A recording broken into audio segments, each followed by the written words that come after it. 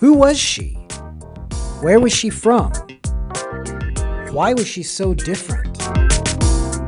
Stargirl. A new student at Mica High School. She made us smile. She made us curious. She made us confused. My name is Leo. I was one of the smiling, curious, and confused students. She challenged me to be different. She showed me enchanted places.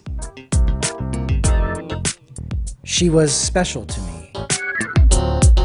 But something was wrong. She was too unusual. She was too unique. Why couldn't she be normal?